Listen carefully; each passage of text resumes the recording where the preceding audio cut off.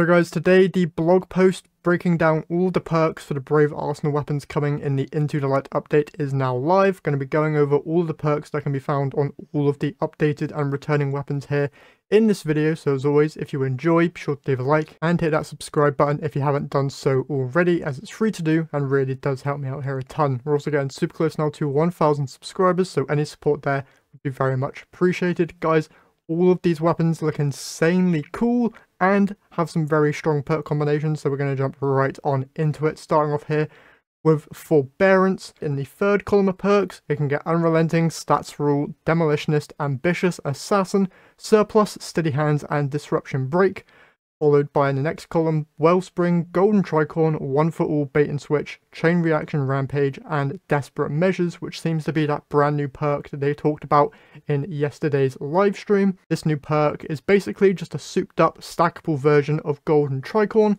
so there's some expectations for that one to be pretty darn good. Uh, for Forbearance here though, it does come with Ambitious and Chain Reaction, so that really strong roll still persists, and that's probably the roll that most people are going to be going after. Next up here we have Succession, which in the third column starts off with Moving Target, No Distractions, Lead from Gold, Reconstruction, Firmly Planted, Demolitionist, and Discord, followed in the fourth column by Snapshot Sights, Redirection, Recombination, Vorpal Weapon, Focused Fury, Firing Line, Box Breathing, and desperate measures there once again. Similar to Forbearance, Succession also comes back again with its god roll from its previous incarnation with the Reconstruction Vorpal Weapon or Focus Fury. You can also get Firing Line there now though, which is very, very good. Can't remember if it could originally get Firing Line, I don't think it could.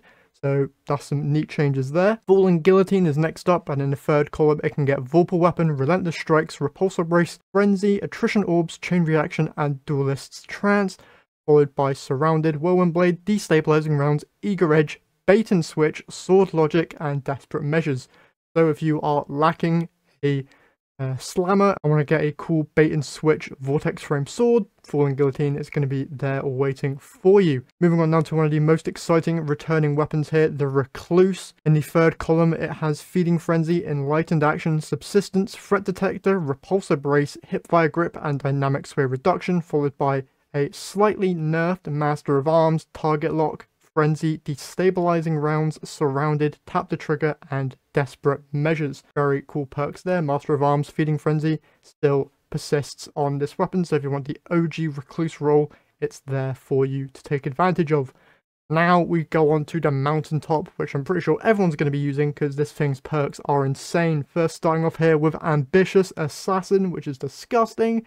Impulse Amplifier as well followed by Demolitionist, Lead from Gold, Slick Draw, Auto-Looting Holster, another great one, alongside Overflow. Oh my god, they do not care at all about power creep. Followed in the fourth column by Rampage, Vorpal Weapon, Adrenaline Junkie, One for All, Harmony, Recombination, and Frenzy. Oh my lord, Mountaintop is stacked, guys. You will want to get this weapon. Bro, Ambitious Assassin on this thing is going to be disgusting. Oh my days. Hammerhead next up we have Feeding Frenzy, Destabilizing Rounds, Envious Assassin, Rampage, Fourth Times the Charm, Rewind Rounds, and Under Over, followed in the fourth column by Surrounded, High Impact Reserves, Target Lock, Onslaught, Killing Tally, Desperate Measures, and Tap the Trigger. Bro, they they don't care. All these weapons are so good. Having Onslaught on a machine gun is crazy. You can also stack that with Rampage and even have Rampage Killing Tally, which they showed in yesterday's live stream. Blast Furnace next up here, third column, Zen Moment, Snapshot, Shoot to Loot, Keep Away, Perpetual Motion, Kinetic Tremors, and Head Seeker.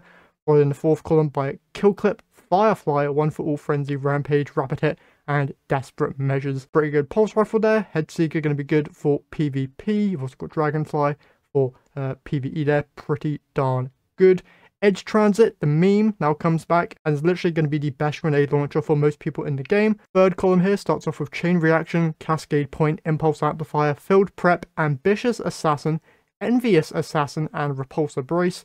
Then in the fourth column you got Frenzy, Destabilizing Rounds, Deconstruction, One for All, Bait and Switch Full Court, and Explosive Light. They just really turned Edge Transit into an absolute beast, which I am fully happy with. Luna's Howl now. Uh, in the third column, Eye of the Storm, Subsistence, Discord, Encore, Slide Shot, Enlightened Action, and Heal Clip. followed in the fourth column by a slightly reworked Magnificent Howl, Kill Clip, Incandescent, Desperate Measures, Opening Shot, Precision Instrument, and Harmony. One quick note to note about Luna's Howl is that it is a 140 RPM hand cannon, but it has the 180 uh, precision frame kind of recoil pattern. So that's a quick note to remember for that one.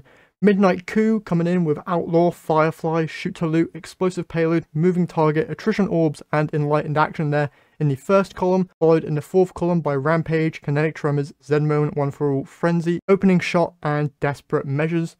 Very good rolls there. Probably going to be looking for that Firefly Kinetic Tremors roll that was shown off in the first live stream. And then we end off here with Hung Jury getting rewind rounds, enlightened action, kinetic tremors, rapid hit, shoot to loot, no distractions, and loose change in that third column, followed by one for all, cascade point, box breathing, firefly, precision instrument, desperate measures, and explosive payload.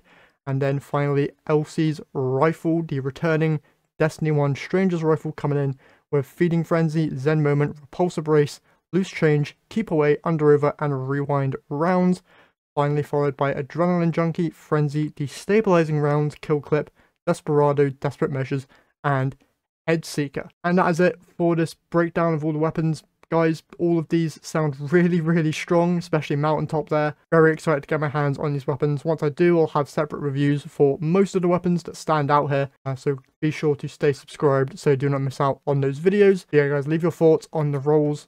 Uh, what are you looking out for most when the update drops and all that good stuff. Uh, yeah, that's it for me today. So if you've enjoyed, leave a like, subscribe, and I'll catch you guys in the next one.